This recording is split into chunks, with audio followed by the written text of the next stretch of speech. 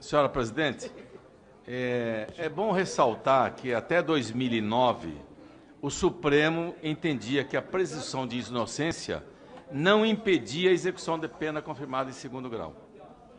Aí chegou 2016, voltou novamente a repetir a mesma decisão que não impedia a condenação e prisão em segunda instância.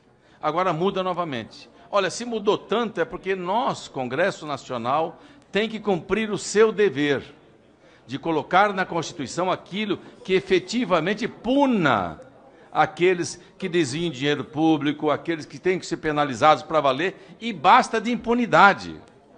Basta de impunidade.